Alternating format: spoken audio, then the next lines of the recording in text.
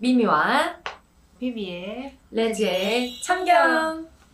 네 안녕하세요. 오늘은 되게 재밌는 여러분들이 좋아하시는 사연을 가지고 왔습니다. 딱 느낌이 오시죠? 음, 제목부터 제목 들으면 딱 알아요. 27년 만에 첫 와. 오 선생님, 오 선생님 뭐죠? 뭐 홍콩 간다는 건가요? 아, 네. 너랑 할 때만 좋아 라는 제목이고요. 아, 제목을 딱 보자마자 이 사연을 뽑았어요. 읽고 마음에 싶, 드네요. 네, 읽고 싶더라고요.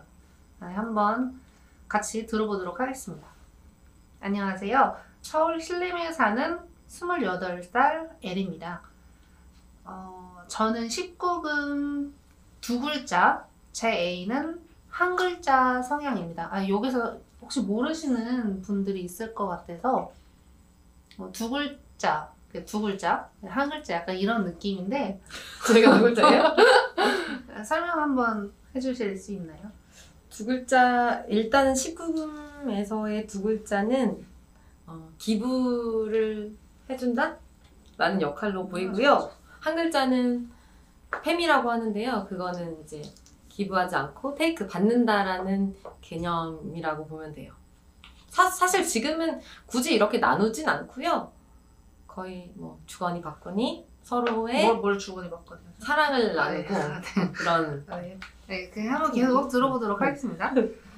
어, 애인과 처음 사랑을 나눴는데 애인이 저한테 27년 만에 처음으로 오, 오 선생님이 왔어. 사랑해? 한 번도 느껴보지 못한 전율이야. 라고 이렇게까지 말을 하나요? 전율이야? 그 저에게 매일매일 사랑을 나누자고 한다고 합니다. 이 말이 진실일까요? 거짓일까요? 네. 아 근데 이 사연은 진짜 재밌는 게 어, 그럼 27년 동안 한 번도 느끼지 못했다는 뭐 그런 사연인가요? 그렇게 보이는데 저는 이게 조금 거짓일 수 있다고도 생각이 들어요. 왜죠?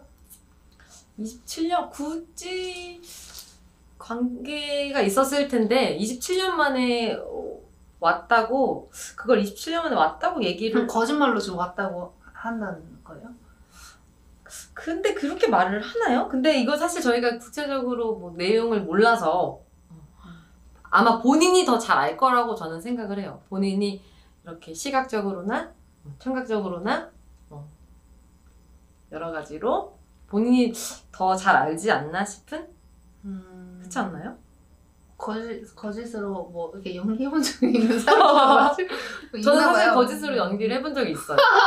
그래서 네, 저는 어, 제가 이제 받을 때 음. 거짓으로 연기를 해본 적이 있어요. 왜냐면 상대가 너무 힘들어하는 것 같기도 하고 저는 원래 옛날에는 이제 거의 이제 음, 좀 느끼질 못해서 상대방이 힘들어 하더라고. 그래서 연기를 몇 번 하다가 연기가 걸린 적도 있고 그런데 이 말은 왜냐면 저도 이런 말을 해본 적이 있거든요. 나는 나는 너가 이게 지금 뭐야? 나는 이전엔 못 느꼈지만 너가 처음이다. 라고 얘기를 한 적이 있어서 저희는 집에 가서 따로 얘기를 하도록. 혹시 연기하신 적 있나요? 아 저는 없어요. 그러면 만약에 안 왔으면 안 왔다? 네. 그 울었잖아요, 저번 방금. 아 장난이고. 아 너무 웃기다. 그럼 이 이거는 이분이 이게 진실일지 거짓일지를 비비는 어떻게 생각하세요? 아 근데 일단 제 생각에는 이 고민은 너무 행복한 고민이에요. 이게 거짓이든 진실이든 무슨 상관이 있어요. 어쨌든 아 물론 뭐 진실이면 더 좋겠지만 그거는 서로- 거짓이면 조금 힘들죠. 받는 사람 입장에서는 아 근데 뭐 만족을 못 하는 건데. 아, 네. 상대를 생각해서 그런 뭐 선의 거짓말 정도는 선의의 거짓말이 지속된다 그러면 이- 왜냐면 이분은 지금 만난 지 얼마 안 됐다고 제가 알고 있어요. 아 그러니까 생각해보세요. 그러니까 만난 지 얼마 안 됐는데 나 못 느꼈어. 이- 이게 말하는 거 자체가 이상하잖아요. 친하지도 않은데 아직. 근데 굳이 27년 만에 처음으로 느꼈다라고 얘기를 할까요? 아, 그냥 뭐 오바가 좀 이렇게 과한 액션이 추가된 걸 수도 있고 아뭐 아닐 수도 있지만 어쨌든 좋다라는 의미잖아요. 좋았다라는 음. 의미이기 때문에 그게 거짓이든 진실이든 일단 뭔가 한 사랑이 번도 느껴보지 못한 전율이야? 이거. 아, 왜 그렇게까지 하지 마시고 뭔가 사랑이 느껴져요. 저는 이거 딱 읽었을 때 되게 어, 이쁜 커플일 것 같다라는 생각이 들었어요. 음. 그렇지 않아요? 그럼 일단 이 말이 진실이든 거짓이든 저는 뭐 저는 상관- 상관이 없다. 근데 너무 너무 이거 사랑스러운 고민. 고민이야. 이거는 진짜 이거는 다른 사람이 들으면 뭐 솔로분들이 들으면은 진짜 이- 방송 끌 수도 있어요. 솔로분들 이런 거 좋아하지 않아요.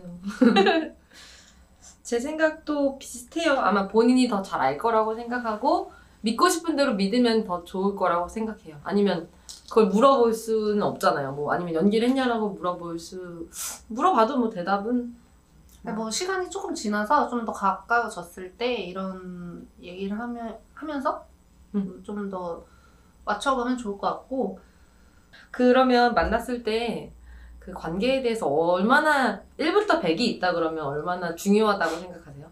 음, 중요하죠. 음, 뭐다 안 중요한 사람이 어디 있겠어요. 1부터 100이라고 하면 90? 80? 90, 80. 저는 계속 강요하지만 성격이 제일 중요해서 80 정도는 중요하다고 생각해요. 90, 80? 이런 이유로 헤어질 수 있다고 생각하세요? 헤어짐의 이유가 된다. 아 물론 헤어지면 이유도 되죠. 그렇게 헤어지는 커플도 사실 많고 많다고요? 많지 않을까요? 맞아, 네, 많을 것 같은데. 어, 뭐안 맞는데 어떻게 결혼할 거야? 어떻게 계속 만나요? 근데 저를 또 이렇게 지극하게 쳐다. 오래 만나는 커플들은 또 관계를 안 하는 커플들도 조금 많다고 알고 있어서 저는 사실 헤어짐의 이유는 어려운 헤어짐의 이유는 어, 아니라고도 생각이 되는데 저는 사실 1부터 100을 정하자 그러면 100이에요. 안 맞으면 노력하도록 하겠습니다. 제가, 제가 더 열심히 한번 열심히 100인지 몰랐어요. 제가 더 분발해야 돼요 지금. 100이야? 나 몰랐어요 진짜. 저는 매우 만족을 해서 네, 괜찮습니다. 근데 이건 어찌됐건 뭐 결론적으로는 진실이든 거짓이든 너무 행복한 너무 고민이다. 행복한 고민이다. 음. 라는 게 저의 결론입니다. 그리고 뭐 궁금하시면 그냥 애인분이랑 이렇게 얘기해 보세요. 초반은 얘기하기 어렵잖아요. 뭐 이거 거짓말이야 아니면 뭐 아니 뭐그 말로 해야 돼요. 자막 띄워주시면 안 돼요. 뭐 좋았어? 약간 이런 거 있잖아요. 그 어떻게 말로 이거를 또 말로 하기 좀 그런데 그냥 그런 거 물어보면서 서로 맞춰가면은 뭐 되지 않을까요? 그럼 궁금한 게 하나 있어요. 어 처음으로 오 선생님이 왔을 때가 몇 살 때 몇 년 전이었는지 궁금하네요. 근데. 네, 오늘 사연은 여기까지 하도록 아, 진짜로? 진짜로. 음, 삐질 것 같아서 제가 대답 못 하겠어요. 제가 나중에 그 따로 기- 개인 방송 하나 켜가지고 얘기를 방송이 해야- 있어요? 되게 질투심이 많아가지고 아 그냥 궁금해서 물어본 건데 그거는 나중에 개인적으로 얘기하는 네, 걸로 개인적으로 저희들끼리 얘기를 하도록 하겠습니다. 그럼 오늘 사연은 여기까지. 여기까지 하도록 하겠습니다. 다음에 뵙겠습니다. 안녕. 안녕.